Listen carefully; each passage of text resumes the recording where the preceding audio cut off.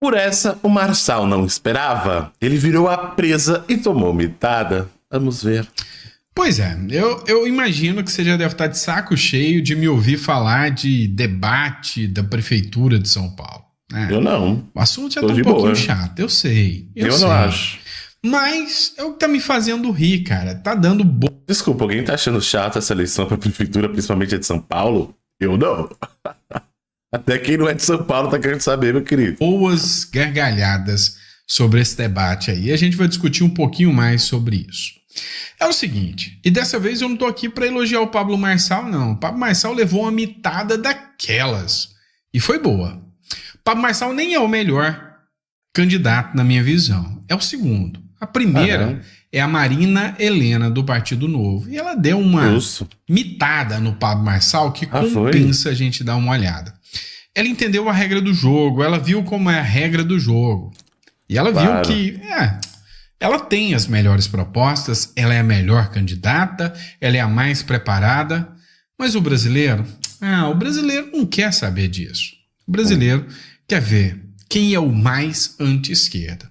Olha só, é esse momento aqui que eu curti pra caramba. Não vou negar. A fala da Marinha, Marina Helena e ela mostrou que ela sabe jogar o jogo. Acompanha aí. Ina, parabéns por você estar aqui nesse debate. Você que foi escolhida do outro. Eu fui o único candidato a mencionar você lá. Você é uma mulher guerreira, tem meu respeito, alguém inteligente, bem intencionado. Faz o M aí. Eu queria agradecer o Marçal por dizer que eu sou a pessoa mais capacitada para governar a cidade de São Paulo. Eu concordo plenamente. E já que vocês vão fazer o M, faz o M de Marina, gente. Tá valendo também.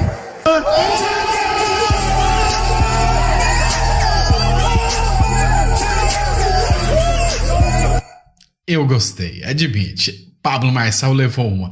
Tem uma candidata à altura. Mas é. a verdade é que a Marina Helena ela é super qualificada, super preparada. E logo não vai ser Mas a realidade é que as pesquisas mostram ela como uma pessoa não conhecida, mostra que ela não participou dos outros debates, a própria Band excluiu ela. E sabe, assim, a chance dela chegar a um segundo turno é muito pequena, embora não tenham dúvidas. Ela é a candidata mais preparada. E cá entre nós, você gostou dessa mitada que ela deu no Pablo Marçal aí, né? Gostou tanto que você vai até se inscrever no nosso canal por Bora. causa disso. Vai, vai, faz isso aí Bora. por nós. Enfim, dando continuidade. Tem uma coisa que chamou muita atenção. Foi feita a reconstituição da mitada do Marçal em cima do Bolos. É, ah, é. contrataram um artista de Hollywood, de primeira linha, um tal de Siqueira Júnior, para mostrar como é que foi o debate. Esse é bom, hein? Lá na TV, acho que foi na Record, na Band, nem sei. Sei que teve o um debate. Gênio, mano. Dá uma olhada gente. na Meu reconstituição.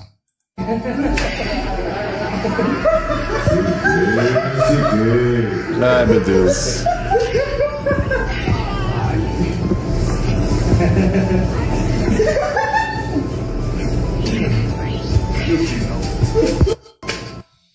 É Constituição perfeita. Tem alguém que tem dúvida sobre isso? Tá, mas brincadeira à parte. A gente começou brincando, a gente começou é, tirando onda um pouquinho sobre o que está acontecendo na política, sobre essa encenação maravilhosa do Siqueira Júnior representando o Boulos e o Pablo Marçal aí, o ápice do debate ontem. Mas vamos lá, vamos continuar analisando um pouquinho mais. Tá. Propostas. Foi feita uma matéria do Estadão que tratou aqui do debate e mostrou alguns pontos. E aí, ontem eu falei, fiz, pus até um vídeo aqui de um, um deputado atacando o Pablo Marçal, um deputado bolsonarista. E aí já começou a chegar recadinho para mim de que, ah, não, você tá atacando o Bolsonaro, você é de esquerda, você é nojento, não sei o quê. Ô, gente, quem me acompanha aqui, quem me conhece, acompanha. sabe muito bem que eu sou sincerão e que eu, sabe, Justo. Eu vou pela minha própria cabeça. E, sinceramente, eu não votaria no Nunes de forma alguma e acho que precisa de um Marçal mesmo para dar um sacode. Lá na Argentina surgiu um Milley, malucão, doidão. E aqui, o Bolsonaro também não é dos mais sãos da cabeça, não. Uhum. Então acho que precisa de um cara mais ou menos é. assim. Eu Esses caras não. centradinhos, como o ah, vai Nunes, sabe, não me agrada muito, não. Ah, Inclusive, para quem não viu, eu vou repetir. O Nunes declarou apoio à pré-candidata Joyce Hasselman A ah, Câmara Municipal de São Paulo. Pois é, o Brasil Sem Medo, é um canal que apoia bastante o Bolsonaro, parece que não gostou muito também. A Hasselman, que rompeu com o ex-presidente Jair Bolsonaro um ano após ser a parlamentar mais votada da história da Câmara dos Deputados, com o apoio do ex-chefe do executivo, agora conta com o suporte de Nunes, que também recebe o respaldo de Bolsonaro. Em suas redes sociais, a ex-parlamentar convocou seus seguidores a formar um cinturão anti-bolos e se compromete a combater a corrupção e a promover o empreendedorismo e a liberdade econômica. Pois é. Opa. Quem sabe você acaba vendo o Bolsonaro, o Nunes e a Josse Hasselman aí no mesmo no mesmo palanque, né? Para, Gente, cá entre nós, vocês podem criticar, eu sou muito sincero, né? Eu já falei para vocês um monte de vezes ah. que eu já critiquei o Bolsonaro em muitos pontos e vou criticar naquilo que eu acho que não tá certo. Se precisar elogiar o Lula se ele fizer alguma coisa certa, o difícil é e assim, eu que tô vendo, eu não tenho que concordar com ninguém, mano. Às vezes a pessoa me julga só porque ele é um título, velho. Tipo, você não viu meu react, você não viu minha opinião, você não sabe o que eu falei, mas você tá me julgando. É isso. Ah, sim, sim. Ai, catacoquinho. É isso eu vou elogiar porque eu olho fatos e não pessoas. É lógico, nunca que a ideologia do Lula vai ser condizente com a ideologia que eu defendo. Mas, cara, não vem tentar me enfiar dentro de uma bolha que essa aí não segue. Então, não adianta ser deputado, ser quem for, tá? Eu vou atuar de acordo com as minhas convicções. E com as minhas convicções agora, eu falo sem, sabe, sem medo de perder seguidor, sem medo da crítica de ninguém, porque eu, eu tô aqui, sabe, mais por ideais do que pelos seguidores. Sou muito grato a vocês, mas claro. pelos ideais, e eu sei que vocês têm o mesmo ideal que eu. Na minha visão, cara, o, o, o partido aí, o PL aí, tá, com perdão da palavra, castrando o Bolsonaro. Bolsonaro, que sempre disse o imbrochável, está sendo castrado aí pelo Valdemar da Costa Neto, que eu sei que o Nunes não quis em momento algum, o Bolsonaro não quis em momento algum apoiar o Ricardo Nunes. Mas o Estadão me deu uma ajuda para provar aqui o meu minha teoria para vocês. O Estadão fez uma publicação que eu achei super interessante, e nessa publicação do Estadão, ele colocou aqui alguns pontos do debate. E eu quero chamar a atenção de vocês para a fala do Ricardo Nunes. Perdeu o debate? Veja seis pontos do confronto entre os candidatos a prefeito em São Paulo.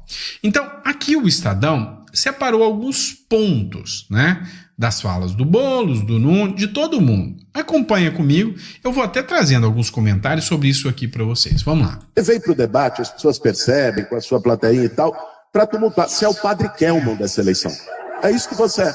Eu sou o padre, você é Kelman. padre Kelman. Eu vou exorcizar o demônio com a carteira de trabalho que nunca trabalhou, um grande vagabundo nessa nação. Aceite sim exorcizar, você nunca vai ser prefeito de São Paulo enquanto tiver homem aqui nessa cidade.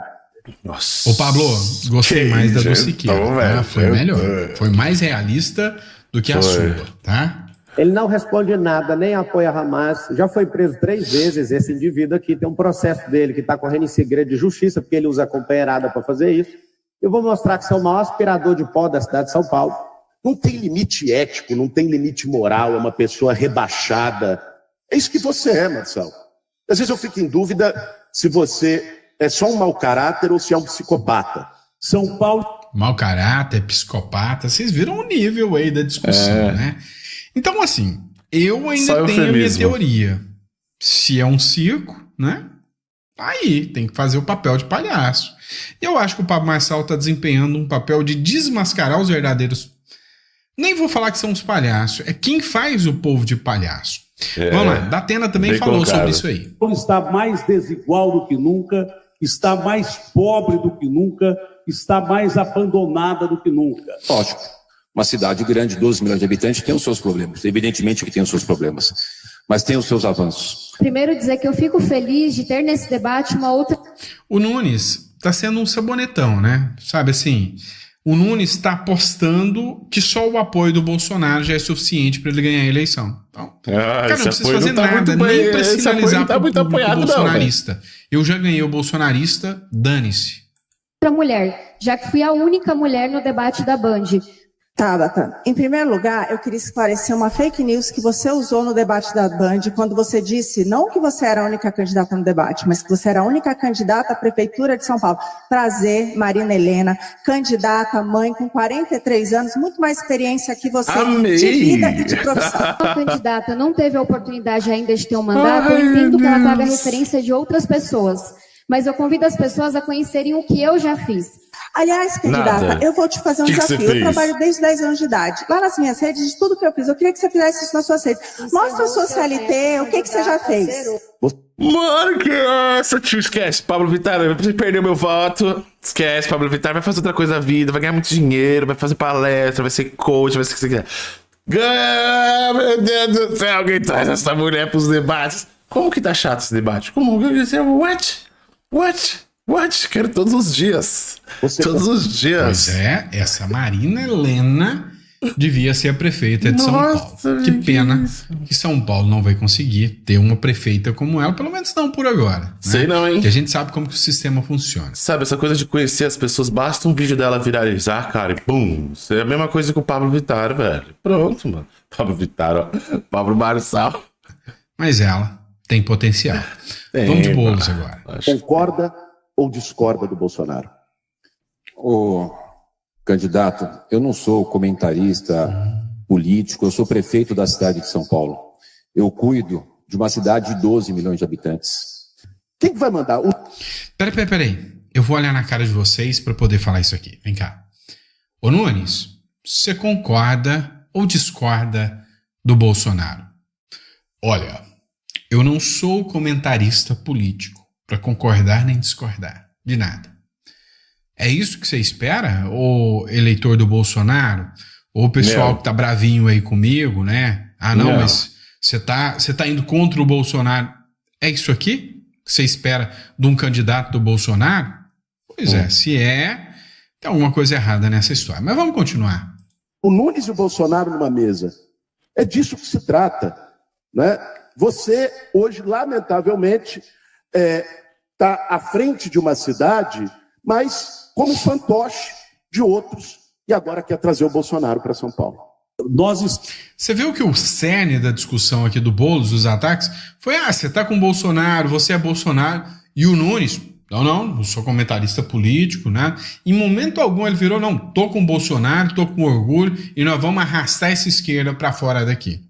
Ridículo. Quem falou isso foi o Marçal, tá? Mas Ridículo. Que esse Nunes, maluco aí. não, não tem esse discurso, não. Continua da pena. Oxe. estamos virando no, no- no Brasil uma Colômbia na época do Pablo Escobar. São Paulo não é diferente. Concordo. Só eu falei PCC aqui. Não vi ninguém falar até agora.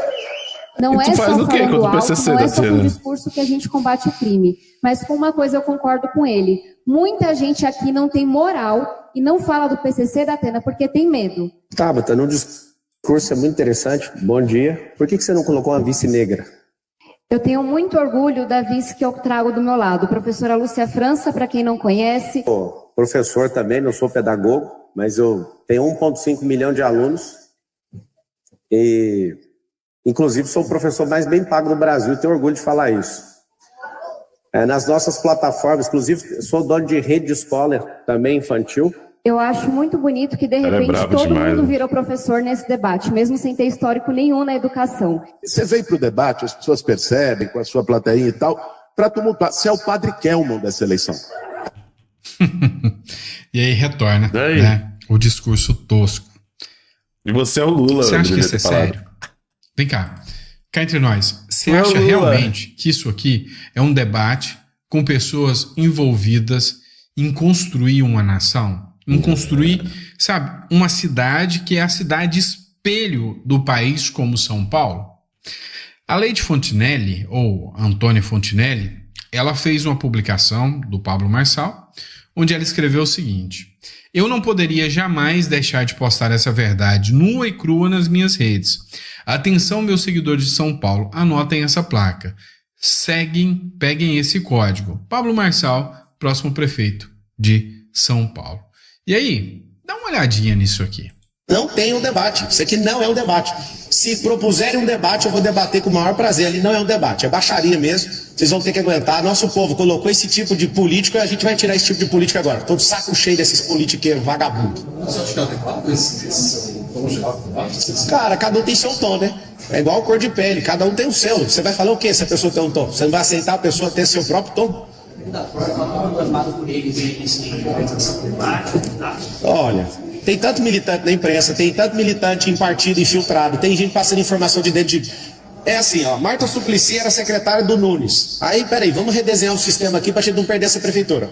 Volta ela pro PT e ela é vice. Você vê a Tabata, nossa, tem dezenas de negros no nosso plano de governo. Eu sou o único candidato que tem uma vice que é negra. Eles não, eles são proselitistas, eles são teóricos, eles Acabou não acreditam naquilo que estão defendendo. Eu coloquei alguém que é da periferia, Acabou de Pirituba, só para você saber Ai, o seguinte: uma mãe, mulher, heroína, salvou a criança, é policial. E eu quero que você entenda, a mídia não soltou uma notícia sobre isso, mas vive cobrando. Todas as vezes que eu fui perguntado, alguém falou: Você não vai escolher uma mulher? Eu escolhi, ninguém fala nada. Por quê? É só um jogo. O problema não é quem é dono da televisão, é quem foi treinado no ambiente acadêmico onde o comunismo impera. Não sei por que, que vocês gostam dessa praga que arrebenta todas as nações. Por que, que vocês gostam disso? Eles, você pega a notícia do jeito que ela está escrita, sempre enviesado. Alguém lá errou, não declarou uma empresa minha, Marçal omite 22 milhões. Eu omitindo, eu sou o candidato mais rico e quero que você também seja rico. Aí a outra pessoa que vocês defendem, ela errou e já corrigiu. Eu também corrigi. Só que a notícia sai diferente, com peso diferente, por quê? Porque vocês, na sua maioria, desculpa falar, respeito a imprensa, zero de respeito com militância. Alguém viu alguma mentira nessa fala do Marçal? Passou o carro. Você mano. achou que ele falou alguma coisa errada? Não. Ele, ah, errou. Ah, não, mas Pablo Marçal omitiu, canalha, safado, sem vergonha, vagabundo. Beleza. O outro, ah, declarou um Celtinha, mas tá andando de Corolla. Tem que declarar. Tem que declarar as contas. Ué, ué. Então, assim, tudo é enviesado. Você ouviu alguma mentira aqui? Vamos lá. A imprensa tá com raiva do Pablo Marçal. Eu vou trazer todas. Todos os ataques da imprensa ao Pablo Marçal. Todos. Sabe por quê? Eu entendo que a cada ataque da imprensa mas o Pablo Marçal ganha mais, força. Meu amigo. Porque quem a imprensa ataca é sinal que essa pessoa tem alguma coisa de bom. Com quem certeza. a imprensa destrói é sinal que essa coisa tem uma coisa, essa pessoa tem alguma coisa de bom. Lógico, tem exceções. Lógico, tem exceções. A gente tá vendo agora a Folha de São Paulo atacar o, o, o ministro Supremo Alexandre de Moraes. Eu não vou falar que essa é uma exceção, não. Tá? Não, tem, tá errado mesmo. Aí, aí é uma das poucas serenidades da imprensa. Mas não acho que o Pablo Marçal tá errado, não. Olha esse vídeo aqui, por exemplo, a gente encerrar aqui, um minutinho só. Marco, isso aí. Candidato, o último debate oral é, pediu para você retirar uh, imagens que você faz acusações contra o candidato Guilherme Boulos. Eu queria saber se você vai, uh, vai deixar essa estratégia de lado hoje por conta dessa decisão da Justiça Eleitoral ou não? Você vai manter a, a Se o cara parar de cheirar cocaína, eu tiro. Se ele provar que ele não cheira, eu tiro. Se ele, eu sou aspirador de pó da cidade de São Paulo, de fato comprovar que ele não mexe com isso Agora tenho documentos e o guardado. Eu que tenho que provar, vou provar na hora certa. Você tá ansiosa? Como é que você chama? Tô, tô ansiosa, meu laranjinha tá tipo de choque. Cadê o laranjinha? Tá em choque. Me manda, me manda pra cá. Manda pra, manda pra cá, manda pra cá, Marçal. Eu acusando, não. Você tá defendendo ele? Você tem algum problema com esse assunto? Quem acusa? É, e você tá defendendo ele? Então, então deixa. Por que isso é importante, candidato? Por que, que você... Não, não olha o nível do jornalismo. O que, que, é isso importante se a gente vê um candidato realmente que o Pablo Marcel consiga comprovar aqui a acusação de que usa droga? O que, que tem de importante nisso? O que, que tem de importante de um cara ser usuário de cocaína? É o que fez a pergunta a jornalista. Meu Deus. Ouça. Vocês estão falando de âmbito pessoal. Como é que você chama? É, cara. Cara, e se você está fazendo a pergunta, você deu importância. Eu pergunto para você, por que, que você está fazendo essa pergunta? Porque você trouxe isso pro primeiro. que da onde esse cara tira essas coisas, gente? Meu Deus do céu, velho. Tá possuído, o Marçal tá possuído. Ai, jornalista, volta, sai, se esconde, faz outra coisa, velho, da sua vida, vai. Não deixa comigo, se eu trouxe, eu mostro. A responsabilidade Nossa. é minha. com a decisão judicial? A decisão judicial tem que ser cumprida. Tá tudo bem. Porque tem que mostrar na hora certa. O brasileiro, ele tem uma mentalidade de esquecer muito rápido. O, o, o, o Bolo, só daquele primeiro debate até agora, já converteu, agora ele é assembleiano. Não apoia mais a liberação de droga, não está libera, não tá apoiando ah, mais não. nada. E vocês passam ah, pano para tudo.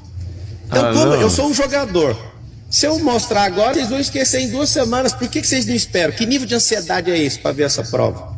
Por que, que vocês não pegam ele e falam? Por que você não faz o exame toxicológico igual o Nunes fez? O Nunes, o tanto que ele é gente boa, aquele vereador ali.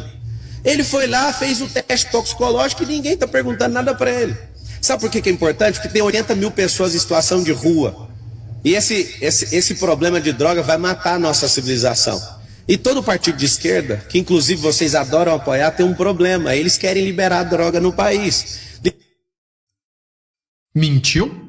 Falou besteira? Mentiu? Não. Então, cara, se eu puder trazer informações para que vocês realmente vejam, peraí, o que, que, são os candidatos? Porque a mídia não vai trazer isso. Você acha que a Rede Globo vai tratar cada candidato com a sua devida responsabilidade? Cara, eles estão falando que o Boulos é assembleiano agora. Deus, pátria e família. Daqui a pouco o Boulos vai aparecer com camisa verde e amarela, ah, falando vai. Deus, pátria e família. O PT acabou de lançar uma cartilha de como lidar com os evangélicos, como lidar com os cristãos, para converter os cristãos para a esquerda e para o PT. É sério que vocês vão cair nisso? Ah, tá de sacanagem, né? Pelo é amor de Deus. Então, tá, eu sei que tá chato eu falar desse negócio. Ah, não, Mas maluco. é representação. Tá escancarando, loucura, tá esfregando tio. na cara do brasileiro um pouquinho a Oxi. porcaria que se tornou. Por... Não, é sério, quem é um retardado que não tá gostando desse vídeo? Pelo amor de Deus, vai, vai, vai ver Pokémon. Política brasileira. E se você gostou desse vídeo, dá um like, curte, compartilha, coloca eu fiquei até o final e gostei. Se não gostou, manda pro seu amigo petista. Bom, eu fiquei até o final e gostei. E tá na descrição pra vocês fortalecerem no like. Até a próxima. Tchau, tchau.